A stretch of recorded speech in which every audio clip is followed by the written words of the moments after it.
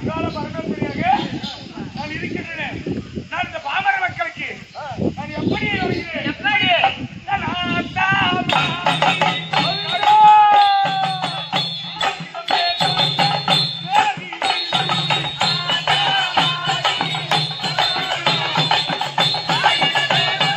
மக்களுக்கு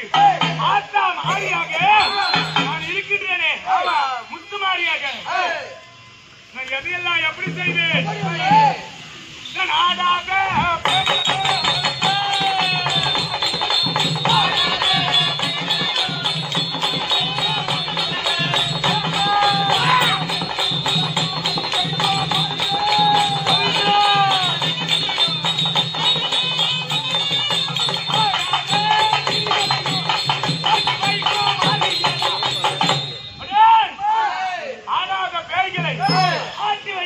Bora!